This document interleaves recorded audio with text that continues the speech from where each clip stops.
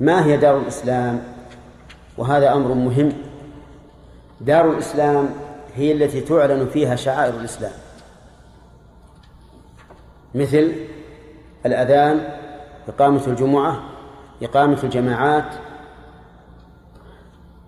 ويعرف أنه أنها بلد إسلامي حتى وإن كان حكامها لا يحكمون بالإسلام لأن العبرة بالظاهر العبرة بالظاهر. فما دام ظاهر هذا البلد الإسلام وهي تنتمي للإسلام فإنها تكون دار إسلام. أما إذا كانت لا تحكم بالإسلام ولا تظهر فيها شعائر الإسلام ويمنع من رفع من رفع صوت المؤذن ومن إقامة الجماعات وإقامة الجمع فهي دار فهي دار كفر.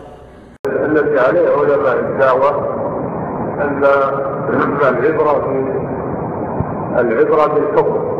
فإن كان الحكم بالشريعة فالبلاد إسلامية. وإن كان الحكم بغير الشريعة فالبلاد غير إسلامية. ولو كان فيها مسلمون العبرة بالحكم.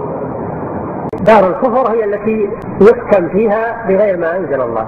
هكذا قرر أهل العلم أن البلاد التي لا تحكم بالشريعة شريعة الله تعتبر دار كفر. وكذلك البلاد التي تظهر فيها أعلام الشرك أعلام الشرك تظهر فيها الأصنام والأوثان ولا تغير ولا تنكر هذه تعتبر بلاد كفر. نعم.